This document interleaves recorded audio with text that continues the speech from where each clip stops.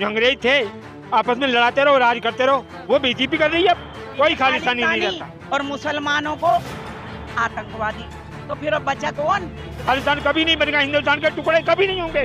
पर इनके राज्य राज हिंदुस्तान के टुकड़े करा देंगे। अंग्रेज़ों ने करा दिए ये बाकी का सर ये छोड़ करा देंगे। कांग्रेस के टाइम पे किसी ऐसे मुल्क में आपने देखा था कि औरतों को नंगा नचाया गया है?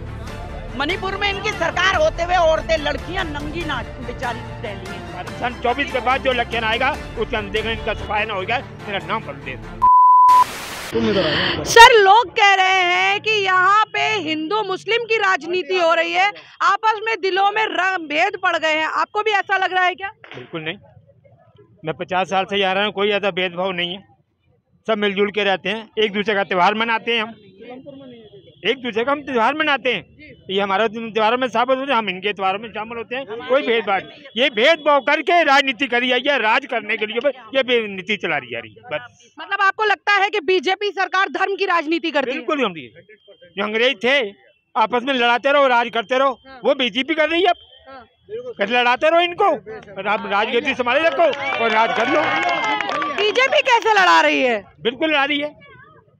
बिल्कुल लड़ा रही है अंग्रेज़ कहते थे फूट एट्टी फाइव परसेंट बीजेपी लड़ा रही है। अंग्रेज़ कहते थे फूट डालो राज करो।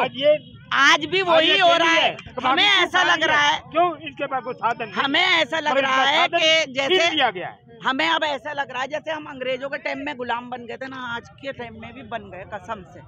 चाहे तो आप किसी से भी पूछ लो ऐसा लेकिन मोदी जी है। कह रहे हैं कि हिंदू राष्ट्र बनाएँगे मोदी क्या करेगा? अकेला अकेले मान लो मोदी ईमानदार है। नीचे की टीम क्या है? गद्दारों की टीम है पूरे नीचे सारी। जब बन जाएगा तो हम जाएँगे? हमारा चौधरी मतीन है कांग्रेस ही है। जिसने आज तक कांग्रेस नहीं छोड़ी दिल्ली सरकार ने उसने पास जब इलेक्शन हुआ तो उसने खुद कहा आकर के मंत्री भेजे उसने कि मुझे पता है चौधरी साहब आप जीतोगे।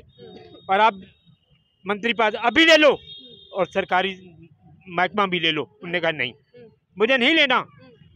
मैं लड़के आऊँगा फिर सरकार बनाऊँगा फिर अपने जनता की सेवा करूँगा। सर पीछे से कहाँ से हैं आप? पंजाब से? बिल्कुल पंजाब तो पंजाब में तो वो कहते हैं कि खालिस्तानी रहते हैं आप अलग देश बनाने की राज करते हैं। भारत आपका देश यही तो फाड़ है। यही तो फाड़ है इसके अंदर खालिस्तानी रहते हैं। कोई खालिस्तानी नहीं रहता। और मुसलमानों को आतंकवादी। तो फिर अब बचा कौन? हिंदू हिंदू राष्ट्र। आतंकवादी। तो बचा हिंदू हम बचे हुए हैं। हिंदू उनसे प्यार मोहब्बत से बचे आपस में रिश्ते जोड़े में उन्होंने। एक दूसरे बेटियाँ ब्याहते हैं ये प्यार से चल रहा है काम अब भी मगर ये फाड़ डालने वाली बातें हैं। जिस राज्य में जिस प्रांत के अंदर तुम्हारा राज नहीं है वहाँ फाड़ डाल दो फाड़ डाल दो राजनीति कर लो। वहाँ का वोट खींच लो वहाँ के अपने मंत्री बिठा दो। जहाँ मंत्री हैं इनको गिराओ नीचे। आज दिल्ली सरकार है जो दिल्ली सरकार आज काम कर रही है ना। उसको काम करने नहीं दे रहे। जो बिल पेश है इसको दोबारा चेक कीजिए। बिल नहीं पास होने देना उसका ताकि ये तरक्की ना करे। ये गरीब आदमी की नहीं सुने। हर जगह बेईमानी है। तो लेकिन ऐसा आप कह रहे हैं कि खली आपने कहा कि मुस्लिम और खलिस्त पंजाबियों को खालिस्तानी कह देते हैं। तो फिर इनको किस किसके वोट से ही। जीते हैं? यह हुआ बनाया किसके वोट से। जीते हैं ये खालिस्तानी कुछ नहीं है। खालिस्तान की मांग करी थी ना जसपाल सिंह ने और गुरुद्वारा शीशगंज से रोज गिरफ्तारी शाम को होती थी। क्या हुआ? कुछ भी नहीं हुआ उसका। खालिस्तान कभी नहीं बनेगा, हिंदुस्तान के टुकड़े कभी नहीं होंगे। पर इनके राज हिंदुस्तान के टुकड़े करा देंगे। अंग्रेज़ों ने करा दिए, ये बाकी का सर ये छोड़ करा देंगे।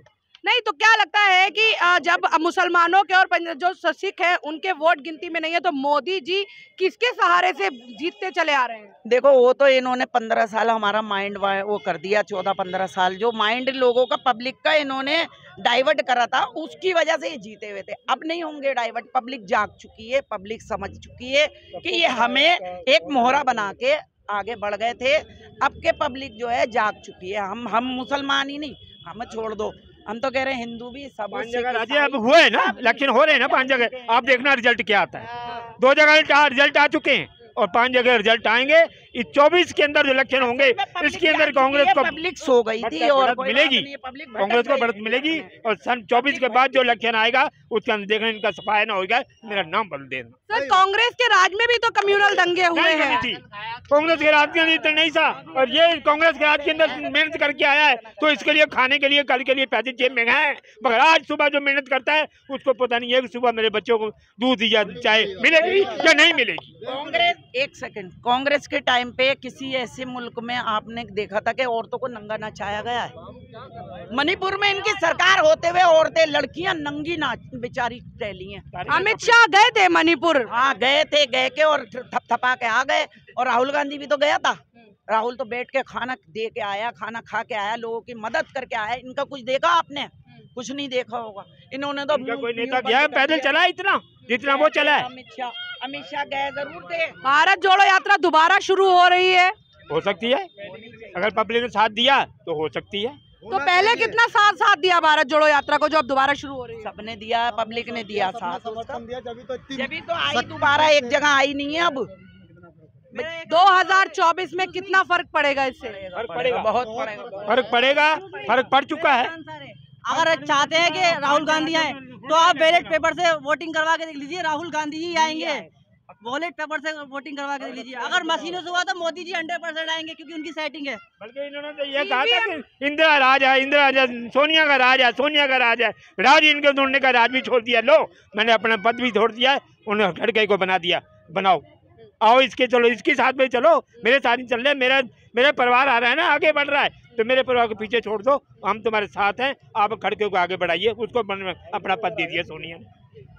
लोकसभा चुनाव के बाद नहीं छोड़ते अपने पद? तो ये अपने पद को नहीं छोड़ते? बात कर लो हम कितने परेशान हैं आपसी में। मोदी जी कह रहे हैं सत्तर साल से नहीं कर सकते सत्तर साल की उम्र के ज़्यादा के लोग लेकिन वो अब वो भी फांसी लगवा दो फिर।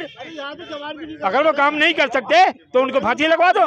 गोली मरवा दो उनको खत्म कर दो। को कह रहे हैं यहाँ तो जवान लड़के हैं ना वो भी डिग्रियाँ लेके फिर रहे हैं। उन्हें बेचारों को सरकारी नौकरी ही नहीं मिल रही जबकि सरकारी नौकरियाँ हैं। जिसको कोई कमाने वाला नहीं है वो कमाएगा नहीं। जैसे कोई जिसकी औलाद नहीं है बच्चे नहीं है तो वो कमाने वाला नहीं है। यही यही कहने चाहते हैं, हर आदमी परेशान है, इसलिए तो परेशान है। जब काम काज देंगे, जैसे बड़े आदमी को मिलाएगा तो गरीब को मिलाएगा बड़े को नहीं मिलाएगा तो गरीब को कहाँ से मिल जाएगा?